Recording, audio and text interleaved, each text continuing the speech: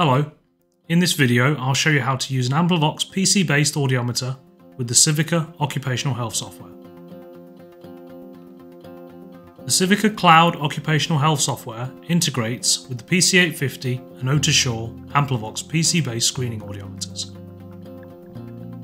This seamless connection provides a secure data connection between the Amplivox PC-based equipment and the occupational health software in compliance with GDPR.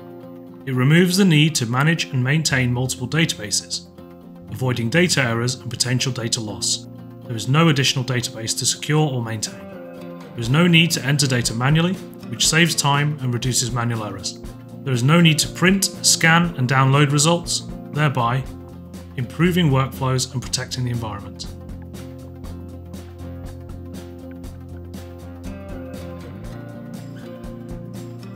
From the employee's file page, you'll find their clinical history and other details of their medical record.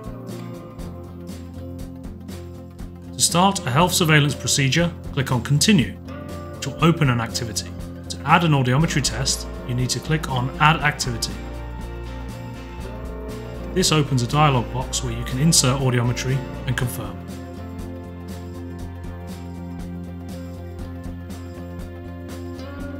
Then click on Start and then Start Activity in the dialog box to begin the procedure.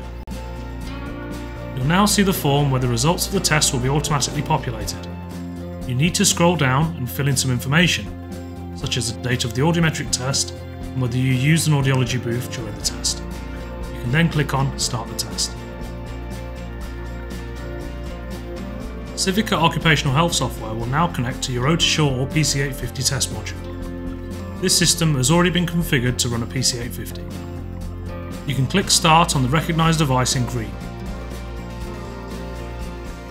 The PC850 test window will open and you can run the test.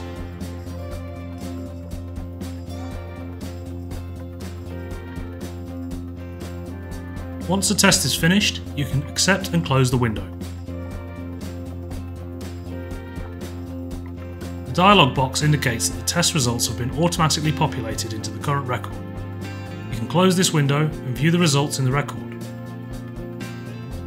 Further down the form, you will find the audiograms, suggestion for referral and action, and a classification by hearing loss category.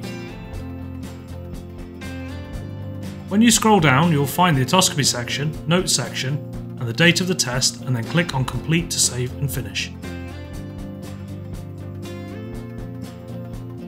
Thanks for watching this video. For more information about our audiometers, spirometers and other Amplivox solutions, please see the amplivox.com website.